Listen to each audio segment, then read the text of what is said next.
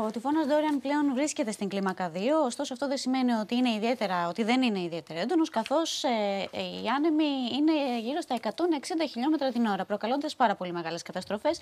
Πρέπει επίσης να πούμε ότι οι Ηνωμένες Πολιτείες ήδη μετρούν τέσσερις νεκρούς πριν ε, φτάσει ο τυφώνας Ντόριαν σε όλες τις πολιτείες.